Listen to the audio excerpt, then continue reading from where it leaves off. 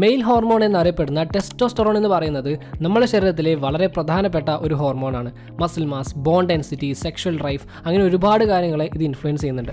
So ടെസ്റ്റോസ്റ്ററോണിന്റെ importance മനസ്സിലാക്കുകയും അതിന്റെ level optimise ചെയ്യേണ്ടതും വളരെ ഇമ്പോർട്ടന്റ് ആണ്.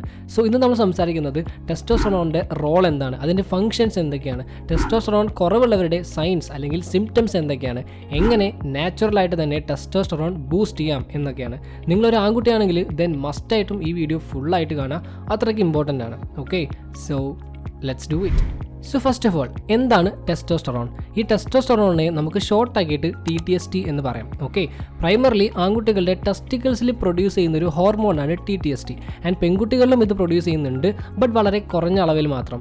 മെയിൽ ക്യാരക്ടറിസ്റ്റിക്സിന്റെ ഡെവലപ്മെന്റിനും മെയിന്റനൻസിനും റെസ്പോൺസിബിൾ ആയിട്ടുള്ള ആൻഡ്രജൻസ് എന്ന ഹോർമോൺ ക്ലാസ്സിലുള്ള ഒരു ഹോർമോൺ കൂടിയാണ് ടി ടി എസ് ടി ഇനി ഇതിന്റെ റോൾ അല്ലെങ്കിൽ ഫങ്ഷൻസ് എന്തൊക്കെയാണെന്ന് ചോദിച്ചാൽ ആദ്യത്തെ കാര്യം എന്ന് പറയുന്നത് മെയിൽ ക്യാരക്ടറിസ്റ്റിക്സിന്റെ ഡെവലപ്മെന്റ് ആൻഡ് മെയിന്റനൻസ് ആണ് ലൈക്ക് നമ്മളുടെ ശബ്ദം മാറുക അതായത് നമ്മൾ ചെറിയ കുട്ടികളായിരിക്കുമ്പോൾ ശബ്ദം ആവില്ലല്ലോ വലുതാവുമ്പോൾ. കുറച്ച് വലുതാവുമ്പോൾ ശബ്ദം മാറുമല്ലോ ശബ്ദം ഒന്ന് ഡീപ്പ് ആവില്ലേ? അതിനെ T T S T influence ചെയ്യുന്നുണ്ട്. അതേപോലെ facial hair and body hair growth and male reproductive organs and അതേപോലെ സ്പേമിന്റെ പ്രൊഡക്ഷനെയും T T S T influence ചെയ്യുന്നുണ്ട്. Number two sexual function and sexual drive ആൺകുട്ടികളും അതേപോലെ പെൺകുട്ടികളും സെക്ഷൽ ഫംഗ്ഷന്റെ കാര്യത്തിൽ ടി ടി എസ് ടിക്ക് വലിയൊരു റോൾ തന്നെയാണുള്ളത്. ആൺകുട്ടികൾ സെക്ഷൽ ഡിസൈർ റെഗുലേറ്റ് ചെയ്യാനും എറക്ടൈൽ ഫംഗ്ഷന്റെ കാര്യത്തിലും ആൻഡ് നൈട്രിക് ഓക്സൈഡിന്റെ പ്രൊഡക്ഷനിലും ടി ടി എസ് ടിക്ക് റോളുണ്ട്. ഇനി പെൺകുട്ടികളിലേക്ക് വരികയാണെങ്കിൽ സെക്ഷൽ ഡിസയേഴ്സിനും and സാറ്റിസ്ഫാക്ഷനും T T S T contribute ചെയ്യുന്നുണ്ട്.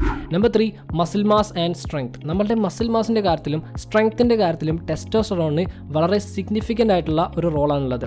അത് മസിൽ സെൽസിൽ പ്രോട്ടീൻ സിന്തസിസിന് ഹെൽപ്പ് ചെയ്യുകയും ആൻഡ് മസിൽ ഗ്രോത്ത് കൂട്ടുകയും ചെയ്യുന്നു. കൂടാതെ ബോൺ ഡെൻസിറ്റിയും T T S T കൂട്ടുന്നുണ്ട്.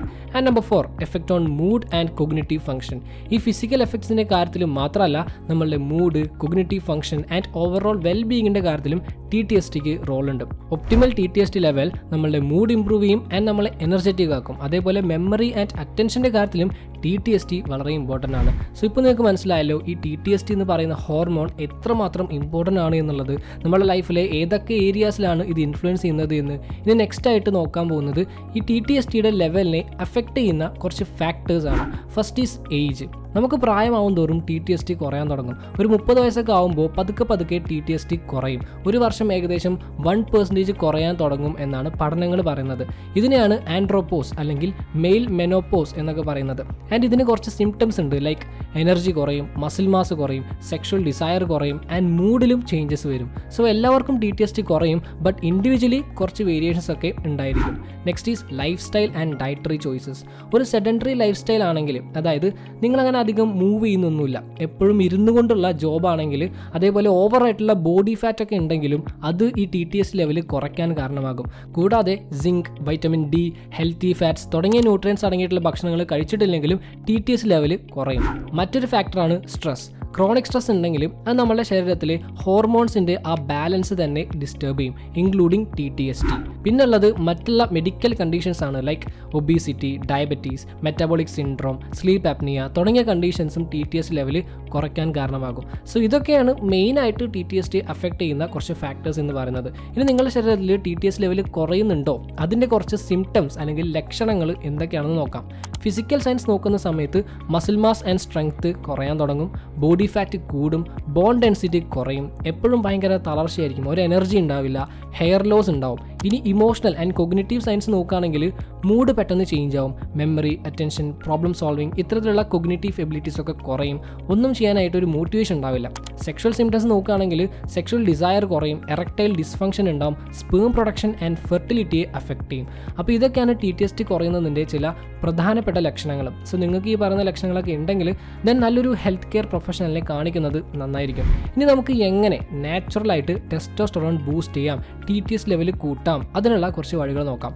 Number one exercise and lift weights ഒരുപാട് രോഗങ്ങൾ തടയാനായിട്ട് എക്സസൈസ് ഹെൽപ്പ് ചെയ്യും. അത് നമുക്ക് എല്ലാവർക്കും അറിയാം. പക്ഷേ അതോടൊപ്പം T T S T level കൂട്ടാനായിട്ടുള്ള വളരെ എഫക്റ്റീവ് ആയിട്ടുള്ള ഒരു കാര്യം കൂടിയാണ് എക്സസൈസ് പക്ഷേ എക്സസൈസ് പല തരത്തിലുണ്ടല്ലോ അതിൽ തന്നെ ടി ടി എസ് ലെവൽ കൂട്ടാനായിട്ടുള്ള ഏറ്റവും എഫക്റ്റീവ് ആയിട്ടുള്ളത് strength training weight lifting and HIIT workouts ആണ് എന്ന് പഠനങ്ങൾ തെളിയിക്കുന്നുണ്ട്. സോ വളരെ ഫാസ്റ്റായിട്ട് നിങ്ങൾക്ക് T T S level കൂട്ടാണെങ്കിൽ then strength training is the answer number two protein fat and carbs നമ്മൾ കഴിക്കുന്ന ഭക്ഷണത്തിനും ഈ ടി ടി എസ് ഡിയുടെ കാര്യത്തിൽ വലിയൊരു ഇൻഫ്ലുവൻസ് തന്നെയാണ് ഉള്ളത്. നല്ല പ്രോട്ടീൻ അടങ്ങിയിട്ടുള്ള ഫുഡ് കഴിക്കുന്നത് ടി ടി എസ് ലെവൽ കൂട്ടും. ആൻഡ് ആൾസോ നമ്മളുടെ ഫാറ്റ് കുറയ്ക്കാനും അത് ഹെൽപ്പ് ചെയ്യും. ആൻഡ് അഡീഷണലി നമ്മൾ വളരെ കുറച്ച് ഫുഡ് കഴിക്കുകയാണെങ്കിലും അല്ലെങ്കിൽ ഓവറായിട്ട് ഫുഡ് കഴിക്കുകയാണെങ്കിലും അതും നമ്മളുടെ ടി ടി എസ് ലെവലിനെ ഡിസ്റ്റർബ് ചെയ്യും. അതേപോലെ ഹെൽത്തി ഫാറ്റ്സ് അടങ്ങിയിട്ടുള്ള ഭക്ഷണങ്ങൾ കഴിക്കുന്നതും ടെസ്റ്റസ്ട്രോൺ ബൂസ്റ്റ് ചെയ്യാനായിട്ട് ഹെൽപ്പ് ചെയ്യും. Chicken egg fish avocados berries leafy vegetables milk products olive oil ginger തുടങ്ങിയ ഫുഡുകൾ കഴിക്കുന്നത് വളരെ നല്ലതാണ്.